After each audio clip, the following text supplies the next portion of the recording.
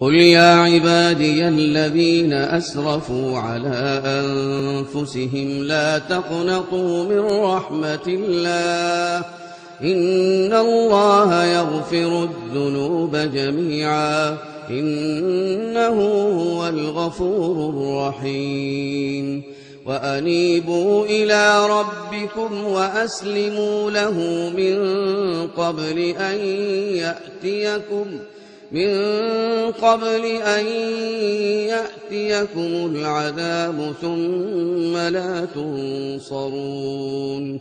واتبعوا أحسن ما أنزل إليكم من ربكم من قبل من قبل أن يأتيكم العذاب بغتة وأنتم لا تشعرون. أن تقول نفس يا حسرة.